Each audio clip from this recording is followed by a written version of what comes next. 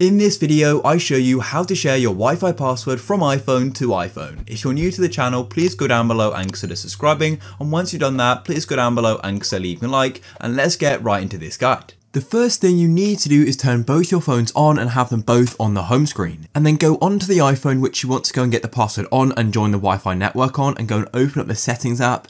Then go to Wi-Fi and go and tap on the Wi-Fi network which you want to go and join and get the password for. Then it's going to go and open up the password screen where you'd usually enter it in. And then within a few seconds, it may take 10 seconds or so, there's going to be a pop-up on the other phone saying, would you like to go and share the password with this other phone? Then what you can do is just tap on share password and the password is going to be automatically put over onto the other phone um, and it's going to automatically join the network. And as you can see it's just spinning and we should shortly go and get the tick confirming that we've gone and joined the Wi-Fi network. And that's literally it guys. This is also going to work iPhone to Mac and Mac to iPhone. It's all going to work. If you guys found this useful please go down below and leaving a like. Peace